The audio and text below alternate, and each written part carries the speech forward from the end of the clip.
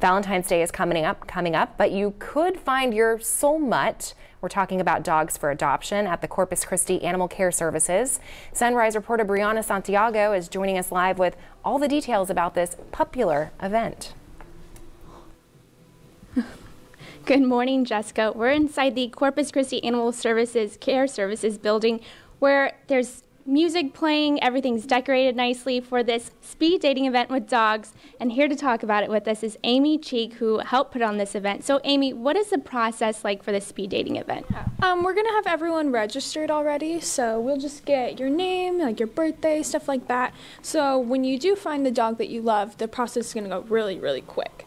Um, you'll then come into this room and meet our really special buddies here because we want to get a little spotlight on them. If you don't find the one that's perfect for you, um, then we will have the kennels open so you can get anyone you want here. And I know Sampson has been here for three months. This is the longest uh, dog that's been yeah, here. He has been here the longest out of anyone. Um, not because he's bad or like any kind of behavioral problems, because he's just sitting on this chair perfectly today. Yeah.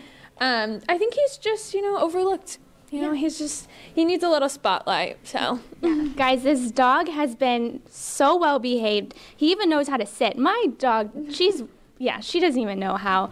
Um, but yeah, he's a great dog. And I know y'all have cats here too. So, for the people who don't want to adopt a dog, they do have cats. What can you tell us about them? Um, so, we do have a couple cats available for adoption. They're going to be the same fee as any dog.